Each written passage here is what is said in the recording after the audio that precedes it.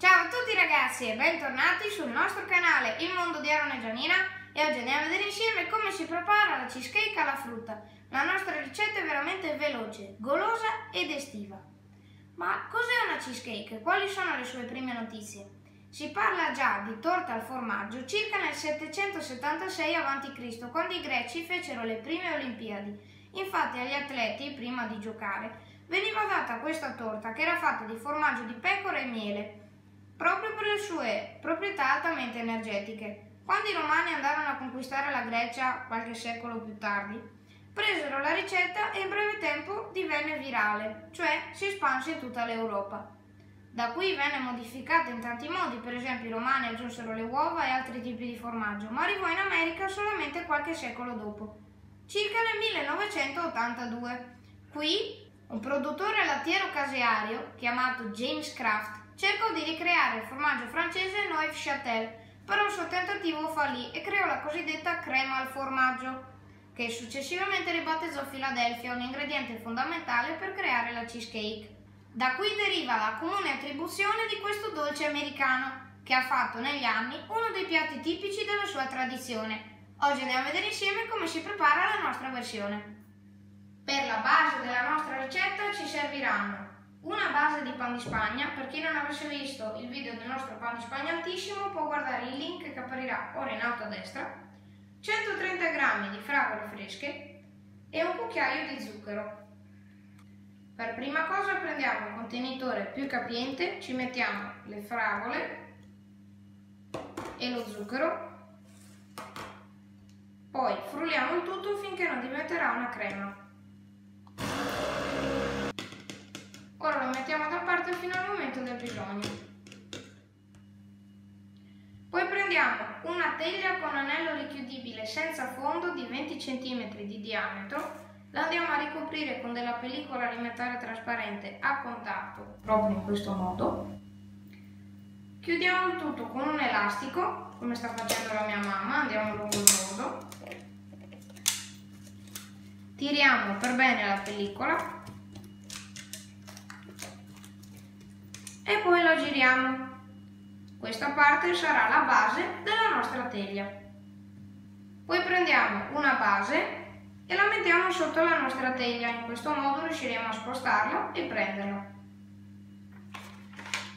Poi mettiamo un foglio di acetato lungo tutto il bordo della nostra teglia, aggiungiamo sulla base il nostro pan di spagna lo facciamo aderire ben bene alla superficie sottostante e lo andiamo a bagnare con la nostra crema di fragole. Dopo aver livellato per bene la nostra crema di fragole, mettiamo la nostra teglia a riposare nel frigo fino al momento del bisogno. Per la crema della nostra torta ci serviranno 500 g di formaggio Philadelphia, 400 g di yogurt magro, 125 g di zucchero a velo vanigliato e 20 g di cola di pesce. Per prima cosa prendiamo una ciotolina con dell'acqua freddissima, ci mettiamo dentro la nostra cola di pesce e la lasciamo 10 minuti in ammollo. Per prima cosa prendiamo una ciotola bella capiente e ci mettiamo dentro il mascarpone e lo zucchero e li mescoliamo per bene finché non diventeranno un composto omogeneo. Fatto ciò aggiungiamo lo yogurt e continuiamo a mescolare per bene.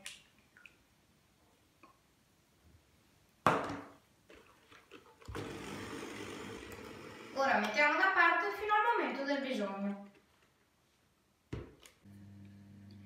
Passati 10 minuti prendiamo la nostra colla di pesce e la mettiamo dentro un pentolino insieme a un pochino d'acqua, giusto qualche cucchiaio. Poi mettiamo il nostro pentolino sul fuoco e lasciamo la nostra colla di pesce affondere a fuoco molto lento. Mi raccomando, non dobbiamo raggiungere l'ebollizione. Quando la nostra colla di pesce sarà fredda, la aggiungiamo alla nostra crema di mascarpone e mescoliamo per bene aiutandoci con le fruste elettriche. Per completare la nostra torta abbiamo scelto anche della frutta fresca, tra cui mirtilli, fragole, kiwi, lamponi e more. siamo arrivati al momento dell'assemblaggio della nostra torta e noi abbiamo cominciato tagliando un pochino di frutta che andiamo ad attaccare sul nostro acetato attaccato al pan di spagna. Dopo aver messo la frutta qua e là, iniziamo ad aggiungere la nostra crema.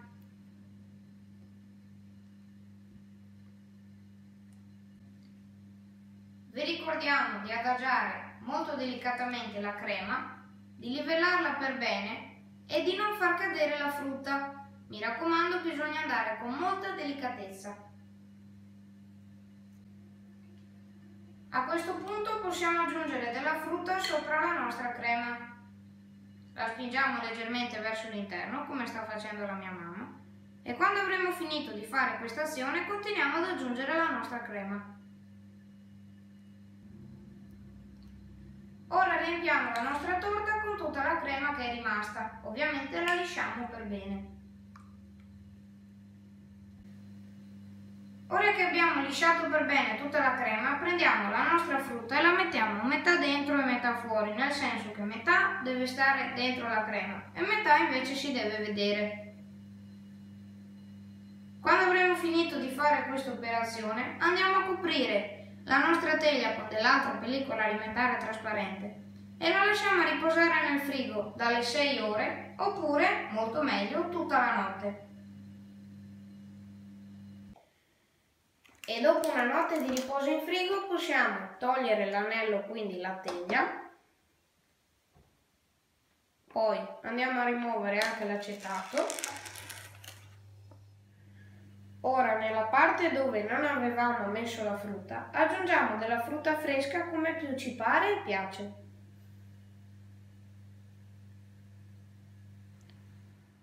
Ma guardate com'è venuta bene la nostra torta ragazzi!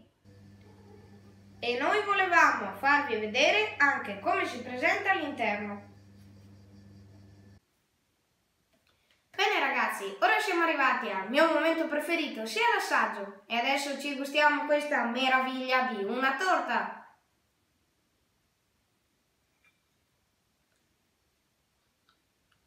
Mm.